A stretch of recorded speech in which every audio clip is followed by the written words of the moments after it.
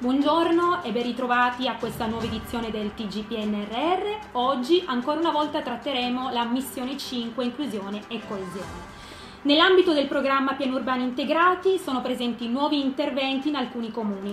A Beinasco, per esempio, verrà realizzato un nuovo centro città in Piazza Dolci che diventerà un vero e proprio luogo della comunità culturale e sociale. Mentre per Nichelino c'è il nostro inviato, inviato Ismaele a te la linea.